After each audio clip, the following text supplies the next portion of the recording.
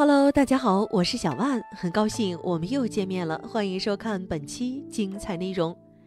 生活中，有的人却自称可以和死去的人的灵魂对话，或者在梦中互通信息，这种现象就被叫做通灵。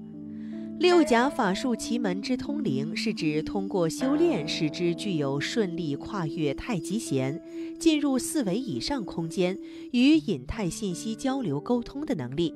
以便在修炼中能够随时得到隐太师傅的指点、呵护和加持，从而进入一气妙灵之佳境，感受生存与修炼中的种种神奇美妙，认识宇宙的深邃浩瀚，体验天地人的法则大道。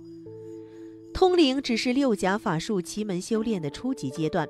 一般的人通过修炼，均能够达到跨越太极弦，进入四维以上空间，与三界隐态信息进行交流沟通。但在与隐态信息交流沟通的过程中，由于所修内容不同，得到隐态信息加持的信息也不同，其表现出的形式也不完全一样。有些人较善于接受隐态信息给予特定题材的特殊信息。如太极神拳，从不会太极套路，却能够打出娴熟、刚劲、优美的太极拳法。有些人善于接受纯粹的疗愈能量，如天医法，只需把手放在病人身上，通过引态信息的加持，就能把能量传导到病灶或不适的部位上。有些人是进入半出神的状态，以笔自动书写天书。对于纸上流畅而出的文字，他们并非有意识的刻意控制，反倒常常惊奇地念出自己所写天书的内容。有些人是闭着眼睛，有些则两眼睁开，却能看到过去久远或未来发生的事件场景。有些人采用清楚又独特的说话方式，有些则保持他们原来的说话风格，能够准确地预测出即将发生或以后将要发生的，诸如何时有财、如何得财等等。大部分的人通过六甲法术奇门之通灵法修炼，最后都会走到口头与三界祖师神明沟通的方式，因为它快速而容易。一是深情境。通过六甲法术奇门之天游接命或辟谷修炼，达到全身经络八脉基本通畅，五脏六腑干净，宿疾基本消除，心疾不染。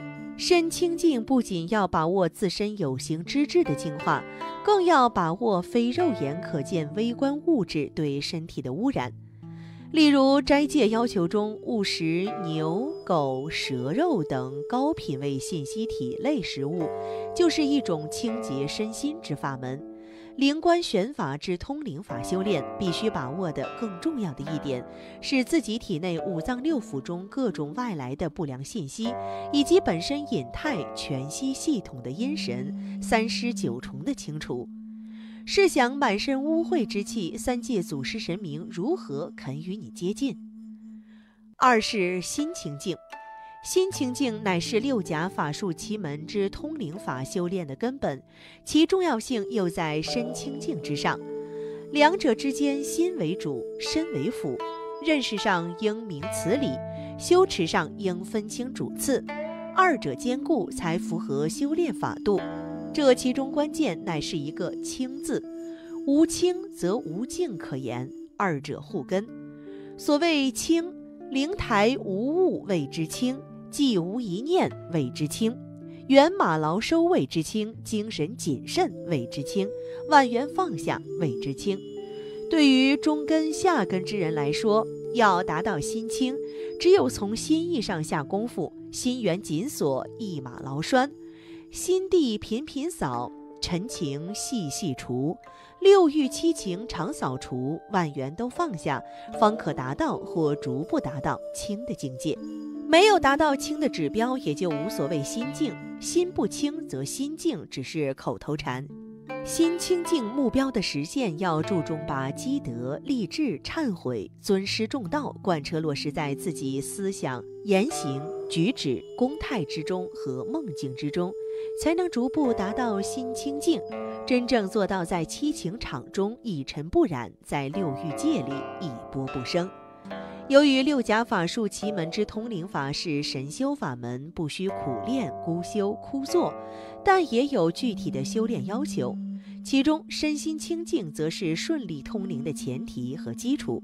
在此前提与基础上，再通过具体技术修炼，才能够跨越太极弦，进入四维以上空间，与三界祖师神明沟通。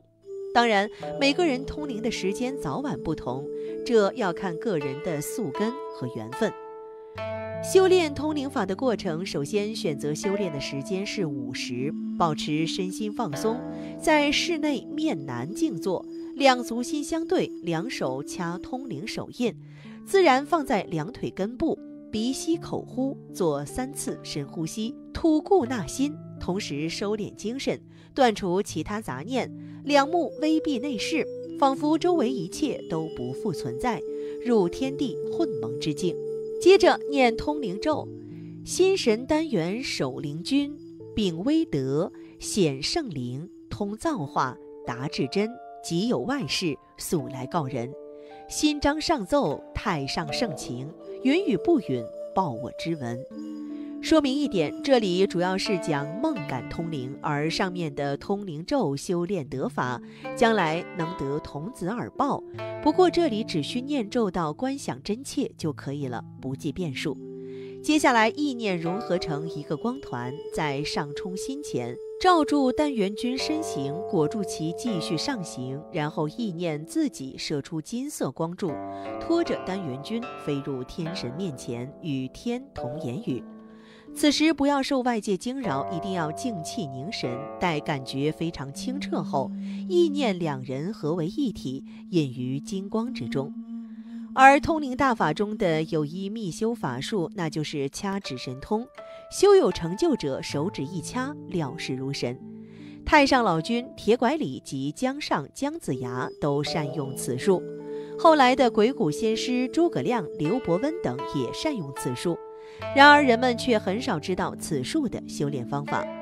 所谓掐指神通，就是训练个人灵力、灵感，使你的灵能、灵场由弱到强，从而使你的灵力产生质的飞跃，达到与灵界沟通之境界的一种法术。修有成就时，能预测吉凶祸福，知过去、晓未来，料事如神，还能让你健康长寿、返老还童。智者能以法悟法，以心印法，心法合一。此法运用掐动拇指、食指、中指、无名指的方法来接通天地人界信息，以食指接通天部信息，以中指接通人部信息，以无名指接通地部信息。拇指则为接通灵界信息的金钥匙，是开启灵感、产生灵通的总舵杆。如此将天地人三才信息定于掌上，天下万事万物尽在掌握之中，这就是万物有灵，灵通沟通于掌盘之中。训练时一般使用左手，如果你常用左手干活，那就使用右手训练。掐指神通训练方法：一、掐指通灵的时机。行者松静身心，拼除杂念，以拇指自动地在中指、食指、无名指上轻点。当练到心神合一，以心印手的感应境界时，就是掐指神通现象。此法完全是一种灵的感应现象。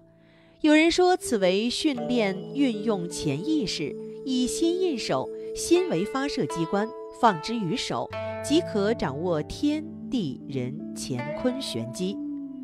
二口诀真言：身姿站、坐、卧均可，但以盘腿打坐训练为最好。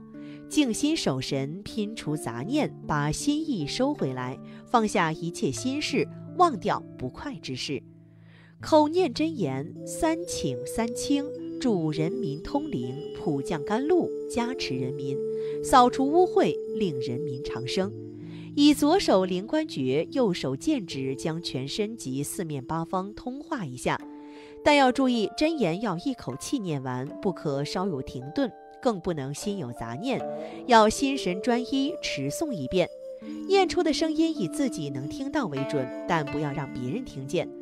练法时忌闲杂人等观望，最忌身旁有人露齿笑或受惊吓。在月事中的妇女不可近身。掐指神通每日练两到四次，每次念诵三百二十四遍。当练到手有了暖气，血液流动加快，也就是面部发热感、发烧感时，就是三界信息已到。三真言口诀：站、坐均可，双脚与肩等宽，双掌合十置于胸前，面向北方，心神合一，拼除杂念，口诵净身真言七遍，接着边掐指边念动真言。神仙传下掌中诀，灵通不用四助力，恭请灵气循环转，天机周流无休歇，三百二十四遍。每持诵真言时，要微闭双眼。练功前结好二遍，洗手、漱口、洗脸，穿宽松衣服。饮食以七成饱为好，平时多食素菜，尽可能少吃大鱼大肉和刺激性强的食物。修百日后，自会有成就的。好了，今天的内容到这里就结束了，我们下期再见吧。